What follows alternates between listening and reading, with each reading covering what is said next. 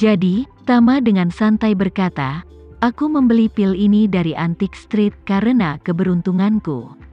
Isyana juga menebak apa yang dia maksud dengan mengatakan itu, dan tidak bisa menahan untuk mendesah. Alangkah baiknya jika aku bisa membeli beberapa pil yang lebih kuat dan menyimpannya untuk berjaga-jaga. Tama mengangguk, jika dia membawa pil penambah darah dan penyelamat jantung bersamanya, itu memang akan menyelamatkan hidupnya pada saat-saat kritis. Linda hampir terbunuh di Jepang saat itu, tapi dia selamat hanya karena pil penyelamat berhamburan darah yang dia berikan saat itu. Begitu dia memikirkan hal ini, dia tiba-tiba berpikir bahwa jika Earl dari Black Mamba benar-benar datang ke Jakarta, Isyana akan berada dalam bahaya.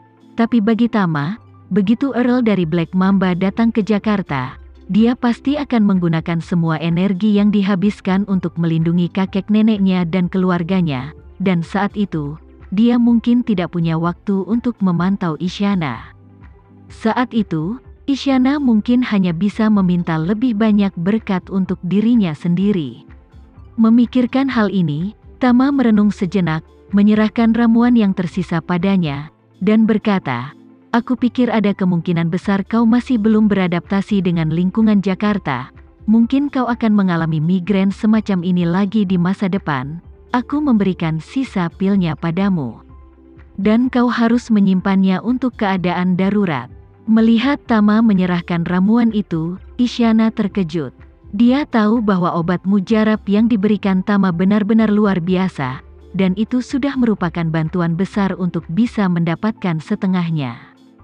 Selain itu, Tama telah meletakkan dasar begitu lama dan terus mengatakan bahwa obat mujarab ini sangat berharga, jadi Isyana bisa memahaminya. Terlihat bahwa Tama awalnya tidak berencana memberikan pil yang tersisa padanya. Namun, saat ini Tama tiba-tiba menyerahkan pil tersebut yang mengejutkan Isyana. Setelah sadar kembali, dia dengan cepat melambaikan tangannya dan berkata, Kak Tama, Ramuanmu sangat berharga, aku tidak dapat memerimanya. Tama memandangnya, dan tiba-tiba merasa sedikit kasihan padanya di dalam hatinya. Sudah sangat sulit untuk bersembunyi dari Black Mamba setelah pertemuan hampir mati, tapi mungkin tidak lama setelah dia datang ke Jakarta, sangat mungkin dia bisa ditemukan dan dilacak lagi. Jadi, dia menertawakan dirinya sendiri dan berkata, "Itu berharga, tapi hanya itu. Aku menjual melon dan membual. Sudah dipotong-potong dan tidak mudah disimpan. Kau harus menyimpannya. Saat ini, Isyana melihat rasa kasihan yang tersembunyi di mata Tama. Apakah itu untuknya? Saat ini, Claudia yang berada di samping tidak tahu betapa berharganya pil ini, tapi hanya tahu bahwa Tama baik kepada Isyana, jadi dia berkata, Ya, Agnes, minum saja obat ini, besok latihan militer akan dimulai. Jika kau menderita migrain lagi, kau tidak akan bisa bertahan lagi. Kamu simpan obat ini, dan jika kamu sakit kepala lagi, kamu bisa mengambil seperempat lagi. Tama juga bersikeras, Agnes, Claudia benar, kamu harus menyimpan obat mujarab ini dulu. Lagi pula, kamu mungkin lebih membutuhkannya daripada aku, dan jika Claudia membutuhkannya, kamu juga bisa memberikannya padanya, yang lebih melindungi kalian berdua. Isyana terdiam sesaat, lalu mengangguk ringan, dan berkata dengan sungguh-sungguh Kak Tama, terima kasih. Sama-sama, melihatnya menerima ramuan itu, Tama tidak bisa menahan nafas lega. Menurutnya, dia bisa melakukan banyak hal untuk Isyana. Dia memiliki pil peremajaan sekarang, tetapi Isyana telah melihat dunia, dan dia benar-benar tidak berani memberinya pil peremajaan. Jadi tiga perempat dari versi yang disempurnakan dari pil penyelamat jantung hamburan darah diambil sebagai jaminan untuknya. Melihat hari sudah larut, Tama berdiri dan berkata kepada mereka berdua, Oke, karena Agnes baik-baik saja sekarang, aku harus kembali. Claudia merasa sedikit enggan, dan mau tidak mau bertanya, Kak, kamu baru sebentar di sini, apakah kamu ingin duduk sebentar lagi? Aku akan mengambilkanmu segelas air. Tidak perlu. Tama sedikit tersenyum dan berkata, ini asrama perempuan, aku orang tua di sini. Tidak pantas tinggal terlalu lama jika aku menunggu sedikit lebih lama, aku pikir bibi asrama akan datang dan mengusirku. Saat dia berbicara, Tama teringat sesuatu, dan berkata, Oh, omong-omong, kalian berdua akan memulai pelatihan militer besok, pelatihan militer sangat sulit, jadi, jika kalian berdua tidak ada hubungannya selama ini, cobalah untuk tidak meninggalkan sekolah. Claudia tidak mengerti arti kata-kata Tama, dia mengangguk tanpa sadar dan berkata, Kak Tama, aku sudah berbicara dengan Bibi dan Kak Fani. Aku telah mengatakan bahwa selama dua minggu pelatihan militer, aku akan tetap di sekolah dan tidak pergi ke mana pun. Isyana menduga bahwa Tama mungkin mengkhawatirkan keselamatannya, kalau tidak, dia tidak akan memberikan pil yang tersisa padanya. Meskipun dia tidak tahu alasan spesifik mengapa Tama mengkhawatirkan keselamatannya, dia masih berkata, Kak Tama, jangan khawatir, aku juga di sekolah akhir-akhir ini, dan aku tidak akan pergi ke mana pun. Itu bagus, kata Tama dengan nada santai. Dia merasa sebenarnya sangat mudah bersembunyi di lingkungan universitas yang relatif tertutup. Selama Isyana tidak meninggalkan universitas selama periode ini, bahkan jika Earl of the Black Mamba datang, akan sulit menemukannya. Dan dia sudah meminta Alvin untuk melepaskan umpannya. Begitu Earl dari Black Mamba benar-benar datang ke Jakarta, dia pasti akan menemukan kesempatan untuk membunuhnya.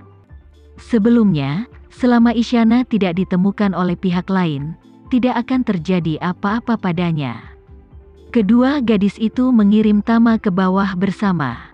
Meskipun mereka memiliki pemikiran sendiri, ketika mereka mengucapkan selamat tinggal kepada Tama, mereka merasa sedikit enggan.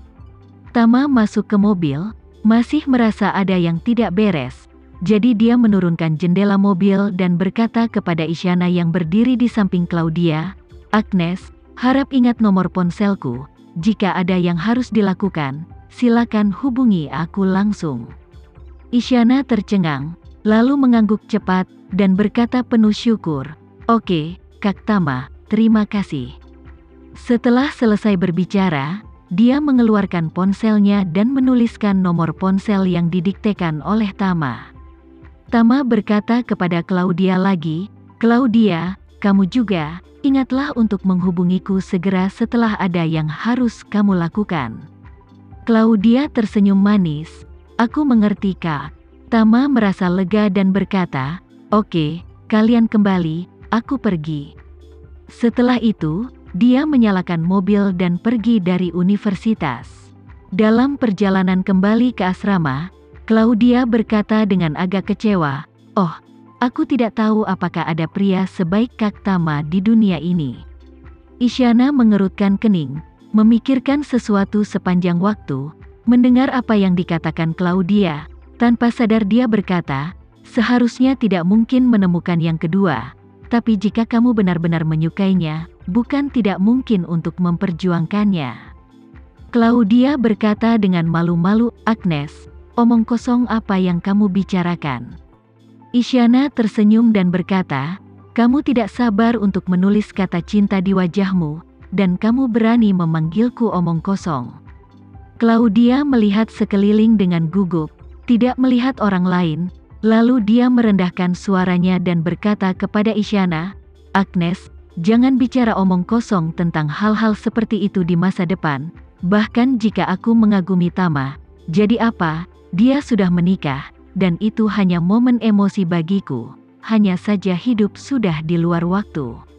Isyana berkata dengan serius, karena kamu menyukainya, selama dia juga menyukaimu, apa bedanya jika kamu besar atau kecil? Claudia tersipu malu, tidak berani menatap Isyana.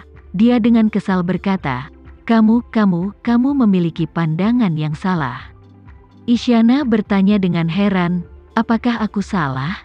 Bukankah orang hidup demi membahagiakan dirinya sendiri? Jika kamu menyukai seseorang, tetapi kamu tidak bisa bersama orang ini, maka kamu mungkin tidak akan bisa bahagia dalam hidup ini kan?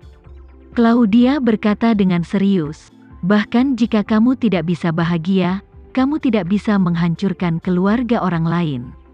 Isyana menggelengkan kepalanya, dia berkata, aku berbicara tentang integrasi.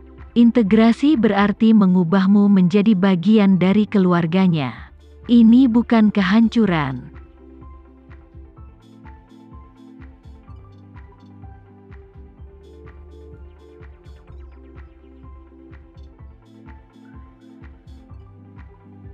Sekian dulu ya video kali ini, kita lanjutkan lagi videonya di lain waktu.